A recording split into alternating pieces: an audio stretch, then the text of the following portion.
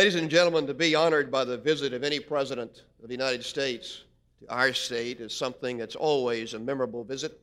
Future of our people.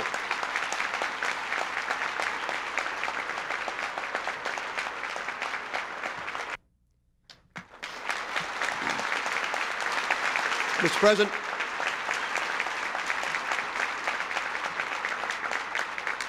you have made us strong again.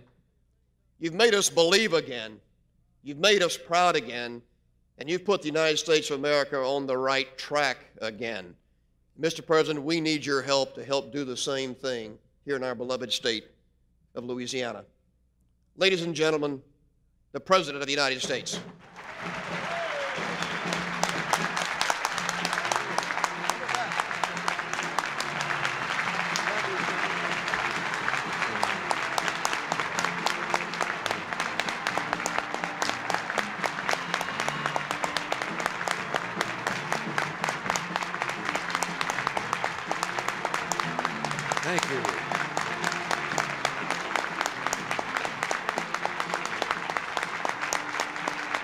Thank you.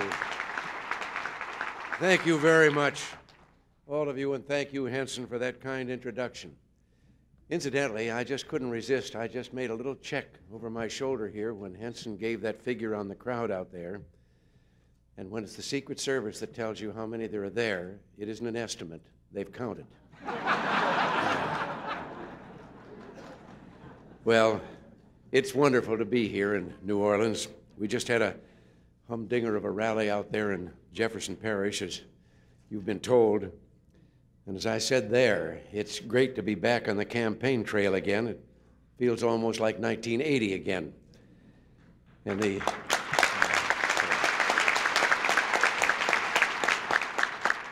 And the way they were cheering Henson Moore, it sounded like a homecoming game for the LSU Tigers.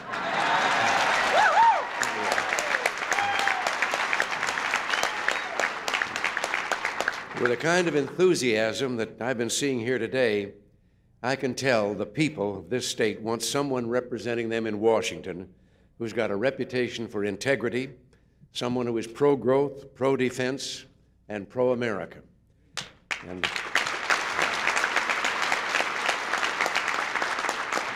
and I can tell that pretty soon you're going to be sending Henson Moore to Washington as the next United States Senator from the great state of Louisiana.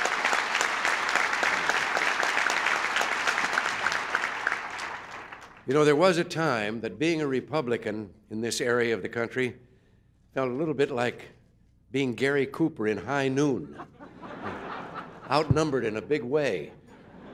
I remember the story of the fellow here a while ago who was running for Congress as a Republican. He stopped by a farm to do some campaigning, and when the farmer heard he was a Republican, his jaw dropped and he said, Wait right here. He said, ah, "I- While I get Ma, she's never seen a Republican before. So he got Ma, and the candidate looked around for a podium to give his speech from. The only thing he could find was a pile of that stuff that Bess Truman took 35 years trying to get Harry to call fertilizer. so he got up on the mound, and when they came back, he gave his speech. End of it, the farmer says, That's the first time I've ever heard a Republican speech. Candidate said, That's the first time I've ever given a Republican speech from a Democratic platform.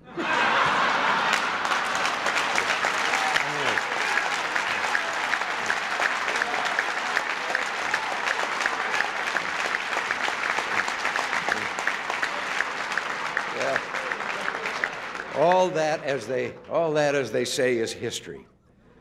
More and more, the people of this state are rejecting the old politics as usual. As I said in Lafreniere Park, it's time for a new day to dawn in Louisiana. The party is over, and it's time to get back to work.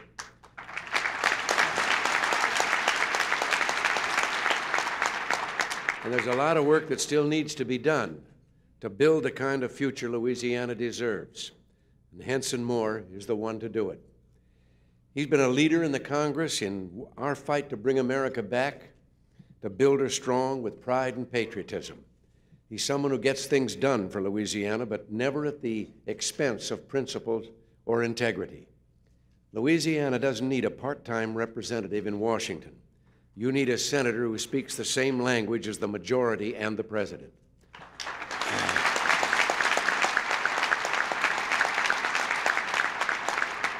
I remember when Henson came to the Oval Office and we agreed on a resolution of the 8G issue in the Division of Offshore Oil Revenue, meaning more than $600 million for Louisiana this year.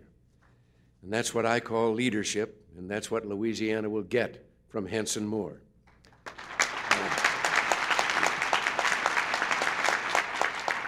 But you know, Henson's election will have reverberations way beyond the borders of Louisiana.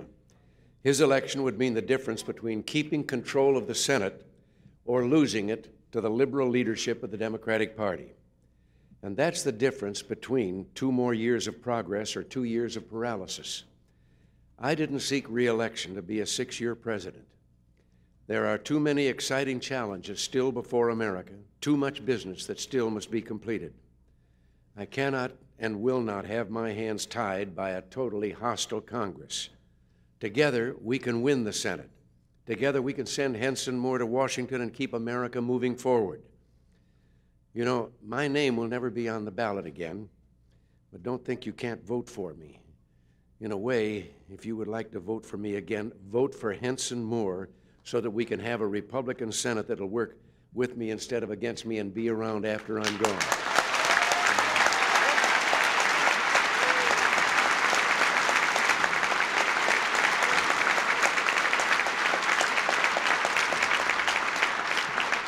We can't stop until America's growing prosperity reaches into every corner of this country. We're making dramatic progress, but in some sectors we've still got a ways to go. It just doesn't seem fair that Louisiana is being held back from joining in America's prosperity by the old style politics as usual. Believe me, Louisiana isn't the only place where the total domination of one party has led to arrogance and an abuse of power. Back in 1980, we faced the same situation in Washington until we ended over 30 years of one party control in the Senate, breaking the logjam and putting America back on the road to prosperity. And we did bring America back. It's time to break the one party logjam in this state and bring Louisiana back too, and Henson Moore is the man that can do it.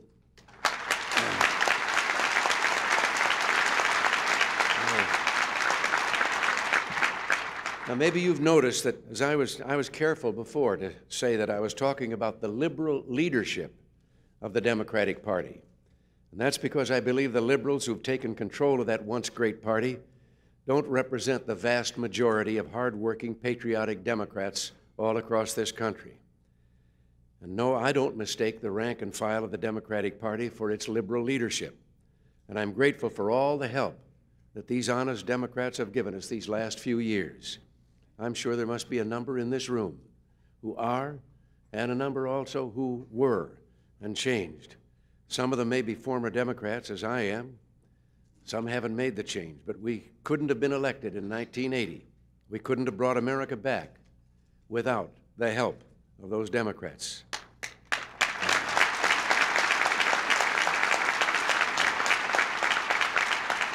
Because like us, they believe in the values of family and faith and love of country. Our Democratic allies deserve a vote of thanks, a real round of applause for all they're doing for America.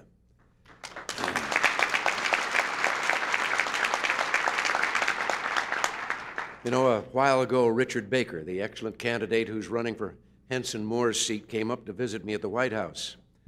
And I've had many of your fine state and local officials over, too. You know, all of them were lifelong Democrats who switched to the Republican Party. And they said to me that the proud Democratic Party of their father's day and their grandfather's day was no more. It had been captured by the liberal wing and dragged way over to the fringes on the left. And I told them that I know how tough it is and can be to change parties, how hard it is to break with tradition. I was working for Republican candidates for some time before I got around to changing my registration. And I was just taken for granted by the Republicans by that time that I was one of them. I'd campaigned for their candidates and, and gone to their fundraisers, and one night I was speaking at a fundraiser. And right in the middle of my speech, a woman stood up out in the middle of the audience, and she said, Have you re registered yet? And I said, No, but I'm going to. She said, I'm a registrar. She walked right down. Came right down and put the papers on the podium, and I signed up and then said, Now, where was I? it is tough to change, but it's important to remember what Winston Churchill said about changing parties. Some men change principle for party, and some change party for principle. So the.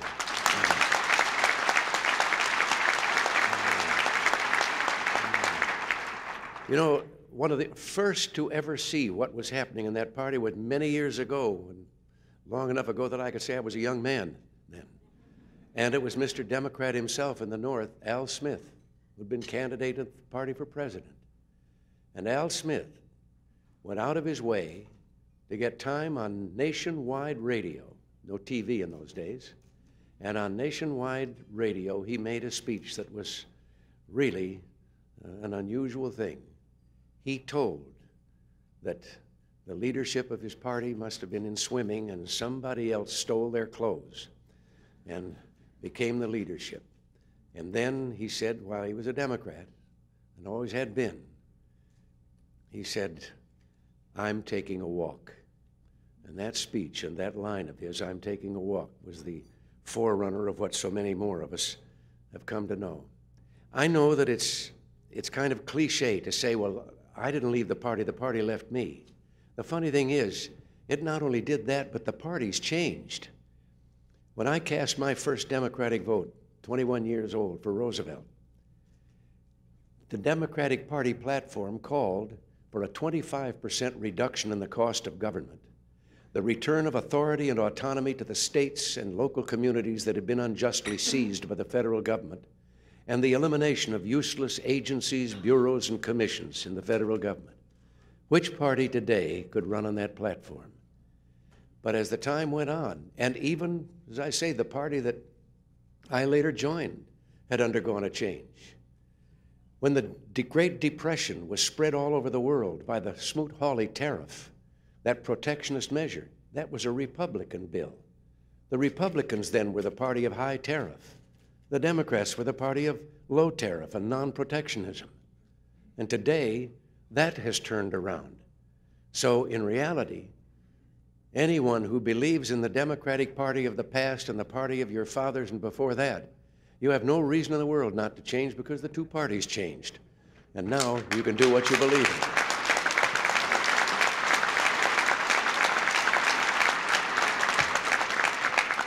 So the door to the party of opportunity is wide open, and we're just hoping that on September 27, everyone in Louisiana, whether they're registered as Democrat or Republican, will come out to vote for a man who has dedicated his life to building America strong and proud and free, Henson Moore.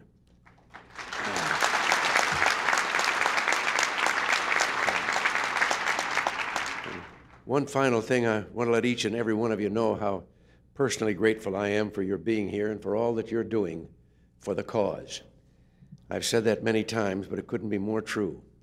America's greatness doesn't reside in Washington, but in people like you, whose hard work, dedication, and generosity keep America strong and keep our future free. So I think I've taken too much of your time already. I just want to thank you again from the bottom of my heart and you send this, I call this team of yours, your congressman and, and Bob and Henson Moore and all, the Louisiana A team, and send them up there to Washington. Believe me, we need them. You know, we have too many people, and then I'm going to quit, that can be best described in a story I like. Three fellows that went out of the building to get in their car and found they'd locked the keys in. They were locked out. And one of them said, get a wire coat, or ha- coat hanger and we straighten it out and I can get the, and the other one says, you can't do that. They, somebody think we're stealing the car. And the third one said, well, we better do something pretty quick because it's raining, starting to rain and the top's down.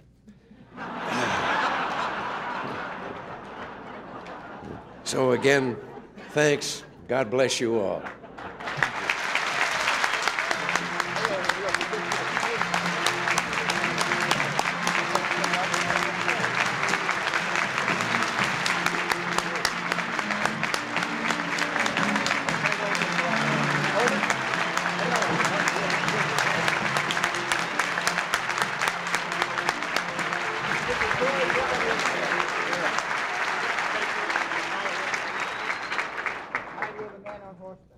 Mr. President, if everybody would sit down for a moment, I'd appreciate it.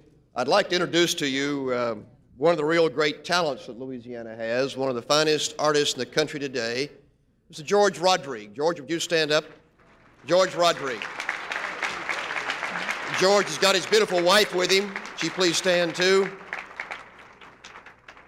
George, keep standing up, George. George is the artist who painted this magnificent painting of the president. We all know him in Louisiana, but let me tell you, friends, he's better known overseas and around the country than we even know of him here in Louisiana. This painting has been done. This painting is being given to the President of the United States today by George Rodrigue as his gift to the Republican Eagles, and someday when the president leaves office, from the Eagles uh, to that White House out on the West Coast to the president himself. So, Mr. President, George Rodrigue would like to present this painting the Republican Eagles and then someday to you as his gift to you, a magnificent gift, I might add. Well, thank you very much.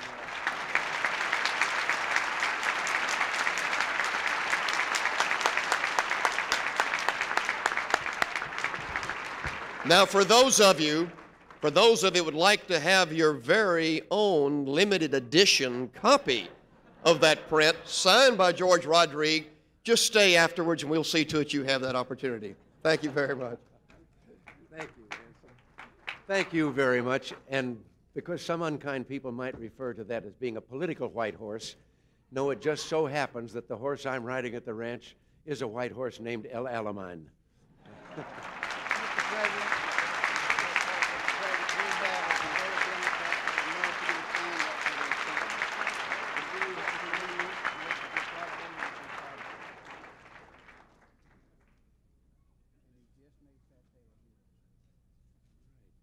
Thank you very much.